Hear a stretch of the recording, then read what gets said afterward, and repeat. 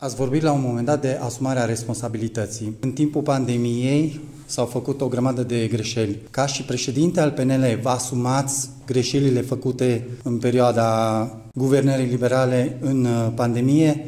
Vă asumați efectele adverse produse de vaccinuri care au fost promovate prin discriminarea românilor în uh, noapte de Crăciun și de Paște?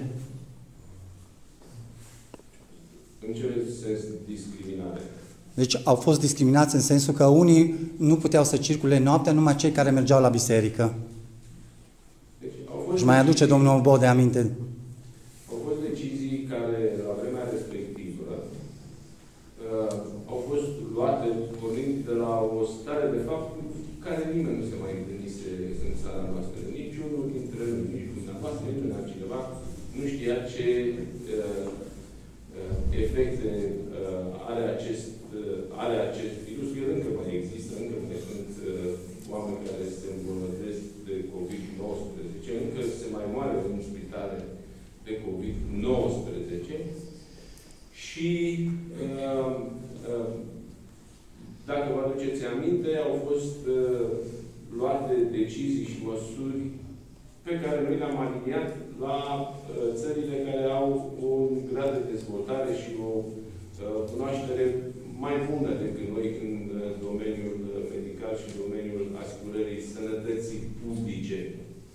Uh, și atunci, uh, dacă uh, ne referim la ceea ce s-a întâmplat atunci, cu ochii de acum, sigur, putem să vorbim că cineva ar fi greșit. Dar trebuie să ne transpunem în situația de atunci, în tot ceea ce a însemnat uh, această uh, uh, pandemie, extinderea uh, uh, uh, acelui virus care într-o perioadă foarte scurtă de timp a ajuns din China uh, peste tot în lume și tot ceea ce a însemnat uh, uh, efectele, consecințele lui, incapacitatea uh, uh, instituțiilor uh, spitalicești să facă față numărului de, uh, de bolnavi, nu doar în România încă o dată, ci peste tot în lume.